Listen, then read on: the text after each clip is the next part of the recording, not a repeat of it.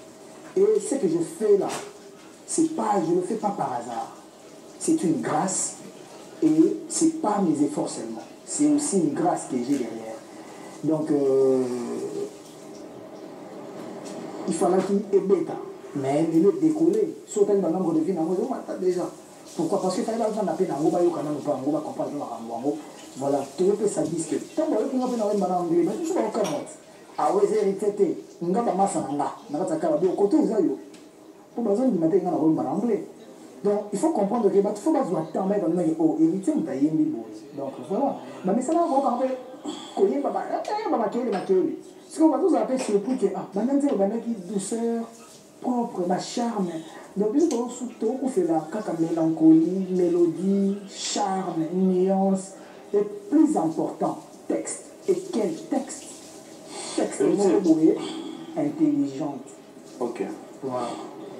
tebisa topusaka mwa ndambo mpo apparemment na ye tokendaka boyoka ta ye osila tozwi ntango otonga te na bien obanda kolimbisaka mwa ndambo na baquestion na omoto te naseki mwa bolimbisi si je me suis déplacé c'est par rapport à ça album oyo disque osali selon yo moko intérieurement si tu dois dire la vérité na ba téléspectateurs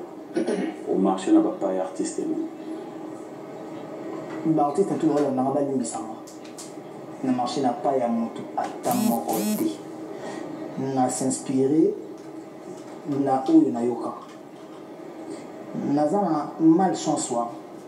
nayebi te soki na bino malchance to chance Yango omoni album nyonso ebima nasombaka na yo mama mpe naokela yango soni te na ngai natala ah parce que niveau na okoma mpo moninga moto asali ide na ye po album ya moto eza ya moto donc ngai na banda banda koyoka banda ba nakemoyesa sala ngai na yo Donc te likambo boyisa nga naokaka bato te nayebi ti baveta bulei ti ba soyoka kutu banzembo babele moko kama ee nzoki ezalaka boye nga babele babela basosoliso biloko kala na debi nango bernadette oza vivante toza mpe na meme planète kasi ozomonana te yokanga